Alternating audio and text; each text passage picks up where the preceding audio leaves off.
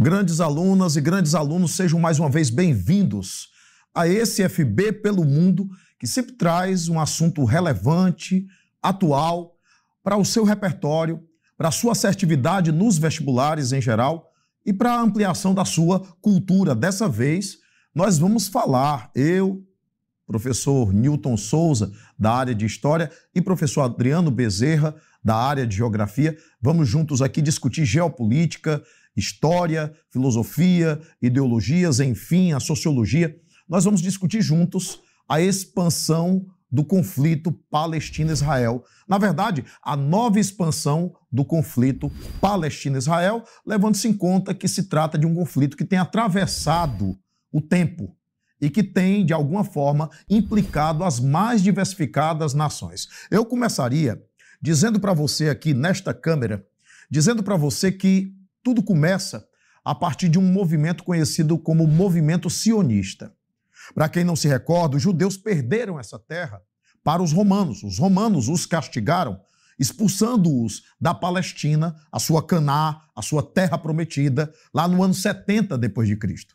Desde então, muitos judeus não conseguiram voltar à Palestina e no século VIII a chamada primeira jihad muçulmana fez com que turcos seljúcidas ocupassem aquela região. E assim, nós temos um lastro muito maior de palestinos propriamente ditos, de origem árabe, naquela região, do que propriamente judeus no século XIX. Ora, no século XIX, Theodor Herzl, um jornalista, vai liderar um movimento sionista. Sionista, o sionismo vem de Sion, que significa o nome de uma colina de Jerusalém, com o objetivo de lutar por uma, um lar nacional judaico. Pensaram em Birobidian, pensaram na Nigéria, pensaram até no Brasil, pensaram na Argentina, pensaram na Sibéria, enfim. A escolha recaiu sobre a Palestina por causa da tradição histórico-religiosa do passado. O fato é que a Declaração de Balfour da Inglaterra apoiava aquela iniciativa, foi criado um Fundo Internacional Judaico com o objetivo de auxiliar na compra de territórios por parte de, de judeus que quisessem retornar.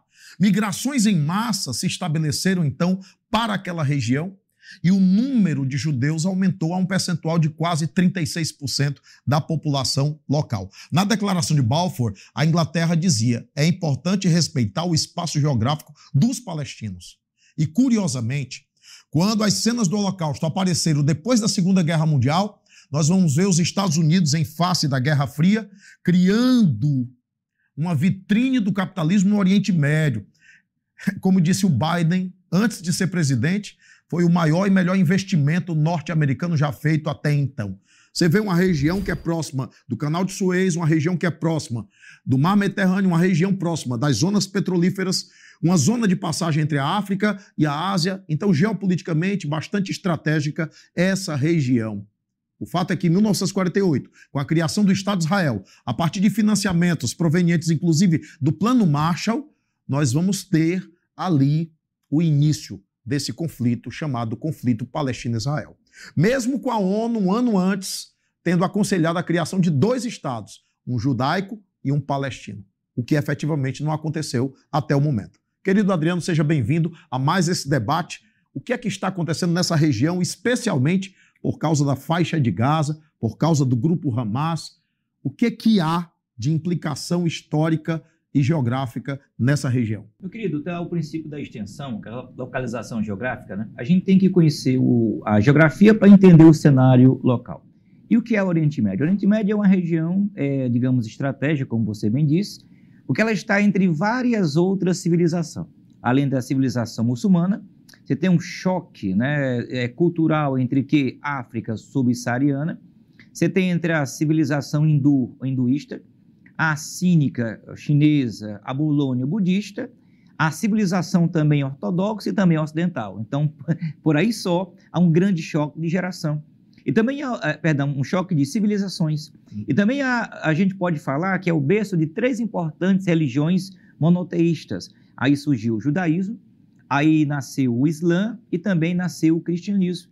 E também é uma região que ela tem cerca de 70% das reservas de petróleo do mundo. Então, Por isso só, a gente pode dizer que é um barril de pólvora essa região devido à sua estratégia, tá?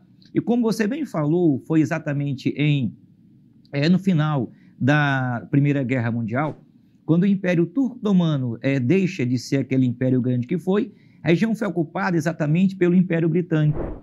E exatamente havia a ideia de, pelo PAN, né, o pan-arabismo, de criar uma única nação. Só que ali o mapa ele foi redesenhado, várias nações ou, é, surgiram naquele espaço territorial que eu falei, né, onde está a Palestina, o Oriente Médio.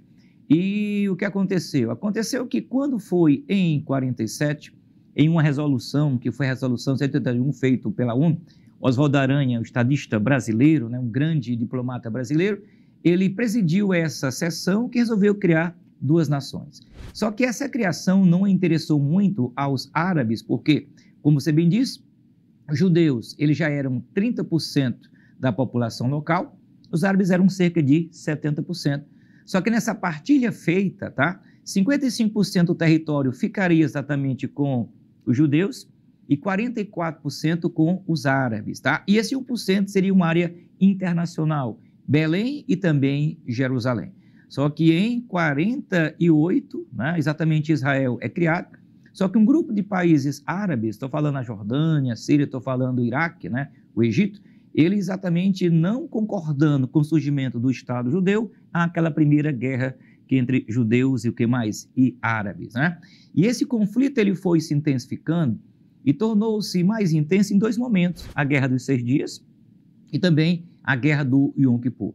Na guerra dos seis dias, Israel, é, a melhor defesa é o ataque, ele faz um ataque preventivo, e desse modo ele passa a estender seus territórios. A faixa de Gaza, né, que era comandada pelo Egito, passa a ser agora né, é, um território é, de Israel. Uhum. Ah, também o Sinai de Israel, perdão, do Egito, do Egito, perdão, do Egito, ele passa a ser Israel.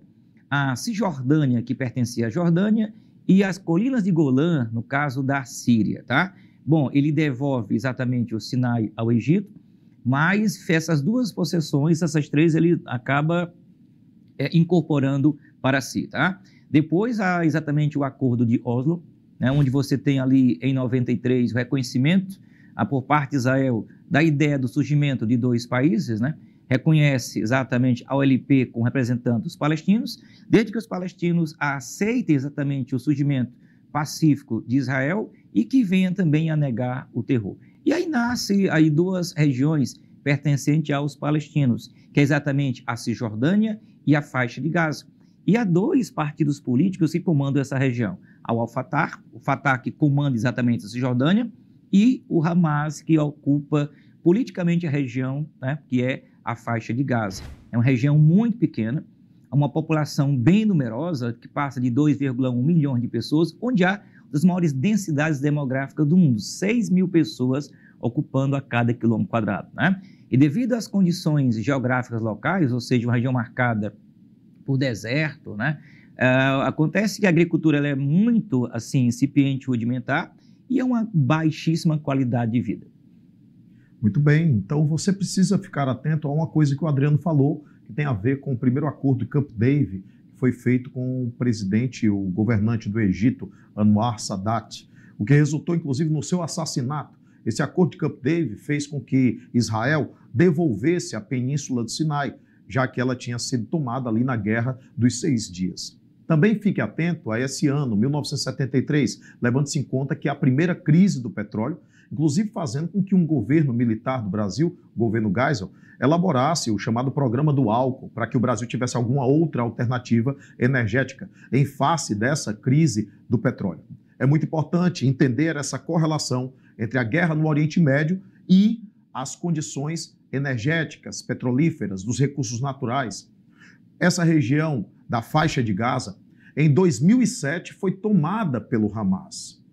E de acordo com, com, com o Tratado de Oslo de 1993, o objetivo era que Israel deixasse essa região da faixa de Gaza, colinas de Golã, fronteira da Síria, fronteira do Líbano, e Jerusalém ficasse sob a administração da ONU, inclusive já tendo construído um muro, já existe um muro em Jerusalém, dividindo palestinos e israelenses, O objetivo seria a descolonização judaica dessas regiões.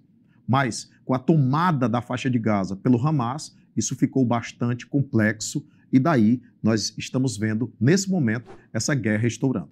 Acredito que nós vamos voltar com mais temas a respeito, com mais aspectos a respeito dessa temática, porque assim como nós fizemos vários programas sobre a guerra da Ucrânia, acabaremos tendo que fazer, infelizmente, não é? Infelizmente por causa da guerra que ninguém ganha, né? Quem primeiro perde, a primeira vítima é a verdade.